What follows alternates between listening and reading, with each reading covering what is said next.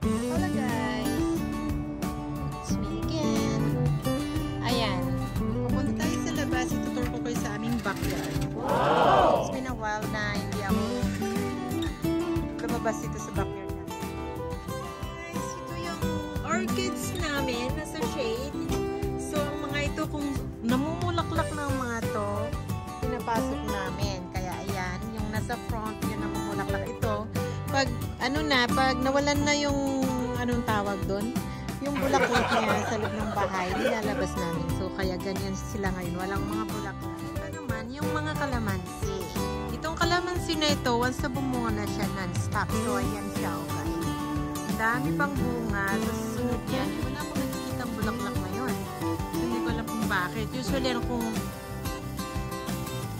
ayan, no, lumalaki na yung mga bunga, may mga bulaklak lang sumusunod. So, non-stop yung bunga niya. Hindi ko lang alam ngayon kung anong nangyari. Bakit wala siyang bulaklak. Naman guys, yung feeling natin na nasa paso, ang daming bunga guys. So, yung mga parents ko, si Papang, si Mamang, kung nagtatanim nito, si Papang yata yun sa ang daming bunga. Last time na ulit kami sa Pilipinas, dinala namin. Kinuha nila yung mga bunga. Dati kasi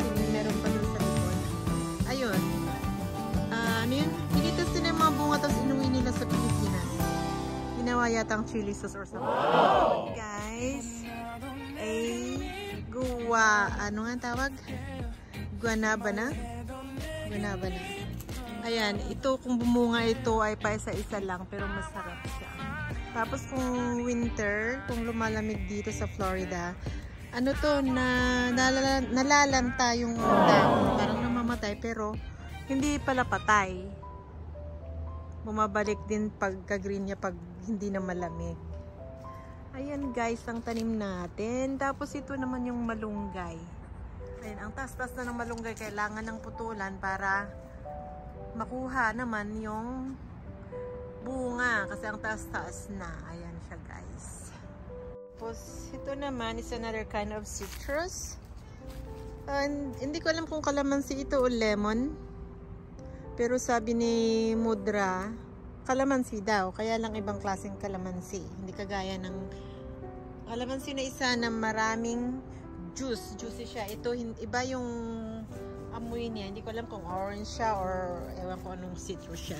Ito pareho nitong citrus na ito. May bunga rin siya pero hindi ko alam parang bakit ganyan yung ano may ano yata na ano yung tawag doon? Yung insekto or something. May ganyan yung dahon. Siguro kasi malamig siya ngayon. Ito naman kay Mito, maliit pa siya. Actually, ito mataas na pala. Kaya lang, wala pa. Usually yata ang kay Mito is kailangan tumaas pa bago bumunga. Ito guys, mga um, saging, banana. Yung saging na to ginagawa lang namin ng pang ano ng uh, suman. Kung nagsusuman, kinukuha lang yung dahon. Tapos ito naman yung kubo-kubo na yan. Ginawang kubo ng tatay ko ng lutoan pag nag-fry kami ng fish kasi ayaw ko mag-fry sa loob ng bahay. Kaya yan, gumawa siya ng kubo-kubo. Malaki rin kaya sa loob niyan. Pwede nang lagyan ng aircon sa bahay. Atis. Atis nga ba ang tawag dyan? Uh, hindi ko lang kung atis yung tawag dyan. Yan, may bunga na isa. Bumunga yata ito dati. Kaya lang, ayun, lahat ng, ng ano nila, ng, ng dahon nila ay ganito ngayon. Siguro sa ano, sa klima. Kaya ganun siya ngayon. Parang na ano, ayan oh, yung bunga niya liit. Meron pa sa wow! Ewan ko nung nangyari ngayon, ba't nagkaganyan? Hindi naman ganyan dati. Siguro kapag malamig, nagiging ganyan. Ayan naman, ang papaya natin. May papaya tayo dito, pero maliliit pa yung bunga. Meron pa dito sa kabila. Ayun. Ayan, marami siyang bunga. Kung bumunga yung mga papaya dito is non-stop. Actually, non-stop. Ayan, ang dami niyang bunga, oh. Ang dami. Ayun pa. Maraming bunga yung papaya doon.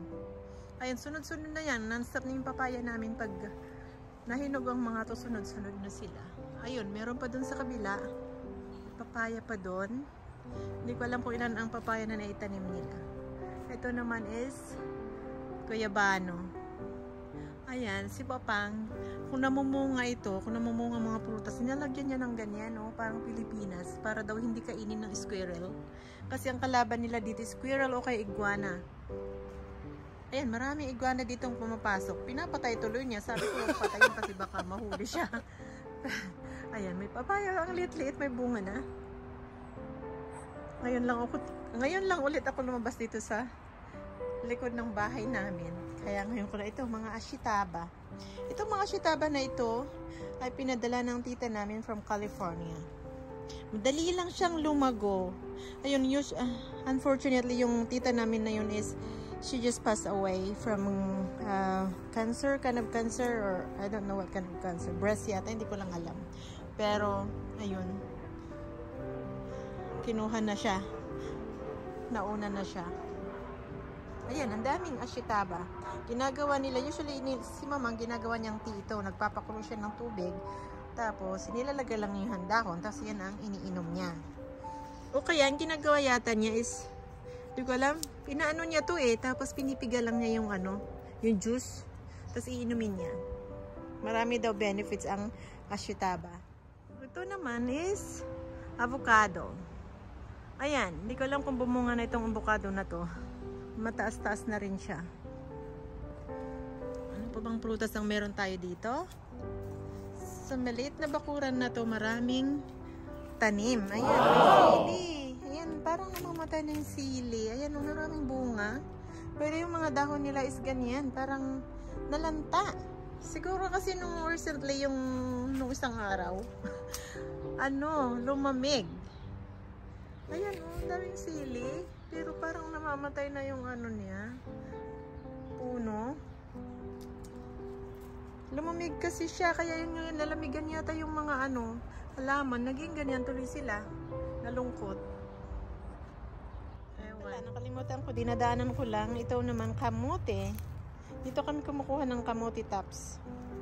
Pang salad. Lalo na kung may tuyo dyan, na prito dyan sa kubo-kubo. Ayan, meron din sa likod. Dito lang ay dito lang tinaniman ng ng kamote para pang ano lang, pang salad. Marami rin ito kung ano. Meron doon sa side ano rin, side ng bahay. Ayan, guys. Na-tour ko ng backyard namin. Yung mga orchid dyan. Ayun, nandun pa ang orchids nandito sa sa palm tree. Ayan yung orchids doon, no. Ayan, no. Kaharap ng pool.